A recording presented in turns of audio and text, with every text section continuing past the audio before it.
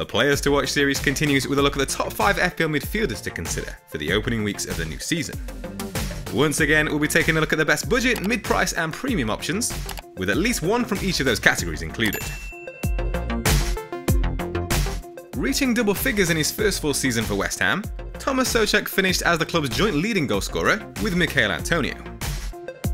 Amongst budget midfielders, priced at 6 million or below, only Jack Harrison and former out of position defender Stuart Dallas exceeded his 147 FPL points.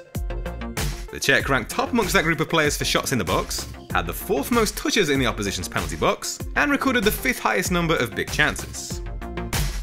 Three of West Ham's first four opponents ranked amongst the bottom five teams for goals conceded last season, while no side conceded as many headed goal attempts as Crystal Palace. Since making his first start for Leeds in Game Week 9 last season, Raphinha went on to average 5.1 points per 90 minutes in 27 appearances. The Brazilian trailed only Bruno Fernandes for assists in that time, and ranked amongst the top three midfielders for attempted assists and big chances created.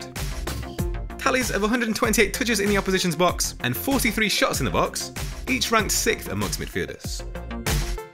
Though Leeds have a tricky immediate start, 6 of their first 10 fixtures have a difficulty rating of 2 and Raphinha picked up 3 assists in 7 matches against the top 6 teams last season.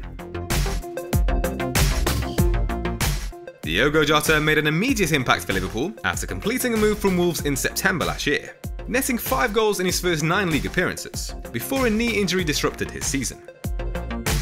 Averaging 8.4 points per 90 minutes during that spell, between game weeks 3 and 11, the 24 year old trailed only Son, Salah, and Fernandes for goals from midfield. No teammate averaged as many as his 3.6 shots or his 2 shots on target per 90 minutes. After regaining fitness, Jota helped Portugal to a last 16 finish at Euro 2020 this summer, and will be better placed to start the season than Roberto Firmino, who made it all the way to the Copa America final with Brazil. With a direct involvement in 32 goals last season, Bruno Fernandes finished as the top FPL point scorer in the game.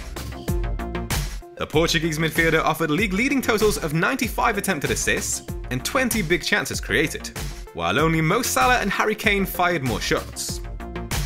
Man United have added further talent to their attack for next season in the form of new signing Jadon Sancho. They avoid the big six in their opening fixtures, taking on Southampton, Newcastle, and Aston Villa in the first six games. For the third time in four seasons, no FPL midfielder scored more goals than Mohamed Salah, with 22. Unsurprisingly, the Egyptian king dominated all underlying numbers for goal threat, taking the most shots in total from inside the box and on target. He also led the way for big chances and expected goals. The 29 year old has scored in all four of his Game Week 1 fixtures since signing for Liverpool, averaging 2 goal involvements and 12.8 FPL points. He'll be hoping to extend that run against the newly promoted Norwich side that shipped a league high 75 goals in their last stint in the Premier League in the 2019-20 season.